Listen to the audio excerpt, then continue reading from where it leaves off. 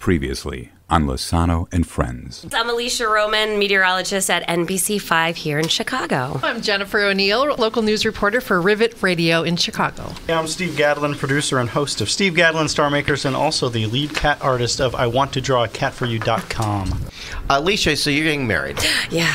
You're not the only one in the room getting married. No, congratulations. Ashley's also getting married. too. So, what, what's your wedding date? So it's November 28th. Okay, and What a yours is great August, day. right? Yes, Yeah. August. Is that your birthday? It is my birthday. Oh, well, I'll have a drink or two for you. Thanks. Oh, so I guess I'm not getting invited to the wedding. Awesome. Listen, okay, I'm marrying into a 100% Italian family. So right now I have about 230 save the dates. That means double that. Right. Wow. There's 400 and some people. So I'm what's hoping one 100. more? I know, right? When, At that point, I'm hoping 100 people say we're not coming.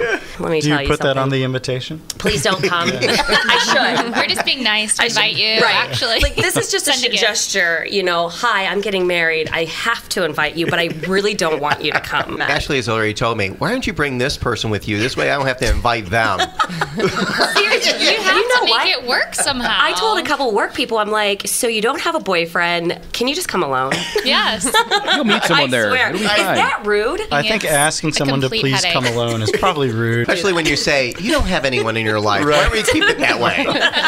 you, you appear to be single. You'll How get the singles table. You can phrase it Right, that like way. they can all be Right. at the Make work it table. exciting. Like they could actually meet someone at your wedding. Right. wedding. Oh my goodness. Right. So alone for his family. Yeah. His family alone is 220 people. Stop. I was going through the list like a fine tooth comb. I'm like, who is this woman? Yeah. And my fiance goes, oh, that's my mother's brother's wife's sister.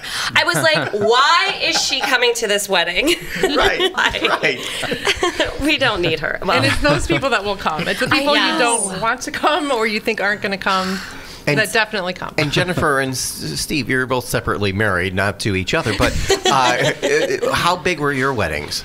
How big was our? My husband is actually here Yes, with yes, us today. yes, so Jason. do you remember? It was. Did you pretty remember? big.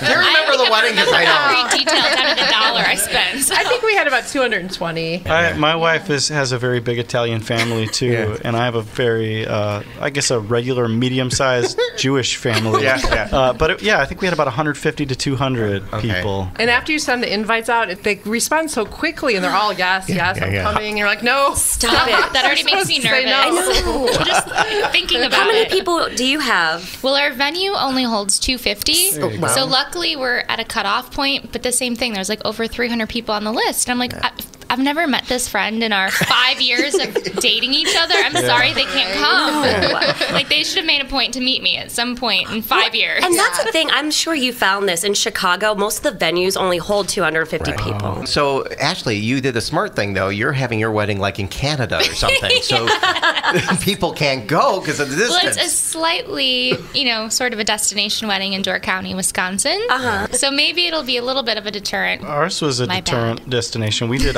Oxford, Ohio, where we both went to college, which is about six hours from both of our families in other directions. So it definitely kept the numbers small. so that's the way to do it. And Alicia, your family is where? So Pittsburgh. so Pittsburgh, mo- yeah. most of my family will be coming in from Pittsburgh or Yeah. New York City. Yeah, yeah. And um, so I'm hoping that they don't come.